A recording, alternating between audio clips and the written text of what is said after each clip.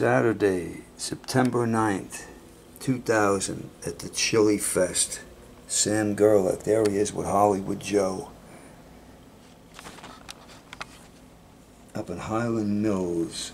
There I am with Kevin Bear, Corey, C O R E Y, Hollywood Joe, Tom Fabry on stage, Neil Richter on drums. Some of the kids there. There's Bear with his Telecaster. Me and Bear doing our thing. Bunch of kids. Neil Richter, drums. Hollywood Joe, guitar. Tom Fabry, guitar and bass.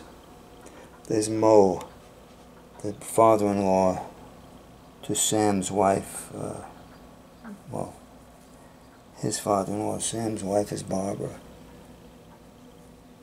September 9th, 2000, Highland Mills, New York. Sam Gerlich's annual Chili Fest, Mr. Chili Fest, and Hollywood Joe. Yeah, good time.